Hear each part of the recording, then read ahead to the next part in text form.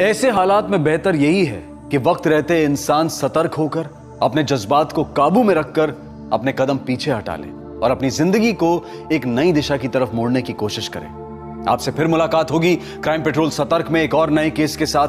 तब तक अपना ख्याल रखें, सुरक्षित रहें और याद रखें। सही वक्त, सही कदम, सतर्क रहें। जय हिंद। पुलिस वाले का व्यवहार वाकई में ही चौंकाने वाला था। आज तक क्राइम पेट्रोल के इतिहास में हराम नहीं काटा गया। यहाँ तक कि पुलिस ने हराम सूँगा तक नहीं। लेकिन उससे सारे प्रमाण पत्र मांग लिए। आज ही मैं कहता हूँ चूतिया प्रमाण पत्र बनाए अपने जन सुविधा केंद्र नजदीकी भाई ये बताना पता कहाँ? हाँ ये पता सर आप नीचे नीचे नाले में तैरते तैरते राइट ले लेना। ठीक है? और सुनिए सावधान रहें सावधानी से जाइए सतर्क रखें। सतर्क तो है ही सतर्क रहें।